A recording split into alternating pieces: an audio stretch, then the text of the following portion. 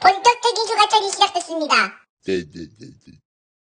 휴가철을 맞이하여 해안 지역, 예를 들면 부산, 제주도, 강릉을 떠나시는 분이 많을 텐데요. 사실 해수욕장 가면 주의할 것이 있습니다. 그것은 바로 해파리와 상어입니다.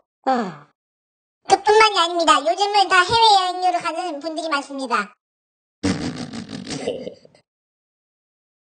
해외여행에도 반드시 지켜야 할 것이 있습니다. 코로나19 방역 수칙을 준수해야 하고 증상이 있을 경우 즉시 검사를 받을 것을 권고합니다.